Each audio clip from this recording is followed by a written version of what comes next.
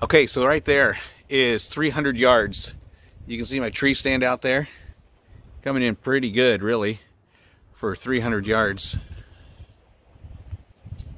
You can see my seat. It'll be flapping in the wind there because the wind is uh, blowing incredibly strong. So this is it. This is this is the monocular.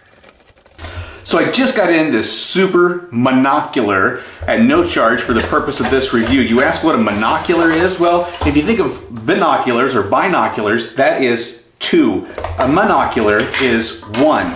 Check this thing out. So there you go. That is a high-powered 80 by 100 monocular.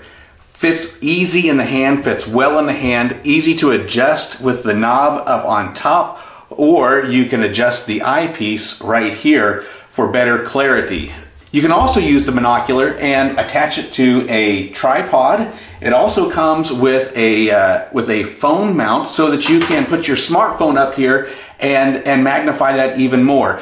So the 80 by 100 means that you can magnify an object 80 times. The 100 is the diameter between is the diameter of your lens. So the 100 is letting in more light, which means that this is going to be good on cloudy days, rainy days, under a canopy in the forest, or if evening is beginning to fall, you can see uh, your birds, your deer, your wildlife uh, at dusk. And then you're going to want to take and uh, make sure that your camera, uh, the eye of your camera is going through the eye of the, uh, of the lens cover.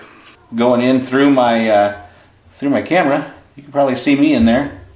There we go.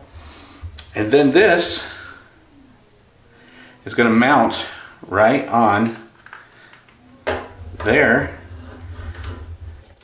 It is super nice, super handy. I love the feature of being able to uh, being able to attach it to your uh, your phone. That is super nice. I really like it. Really like it.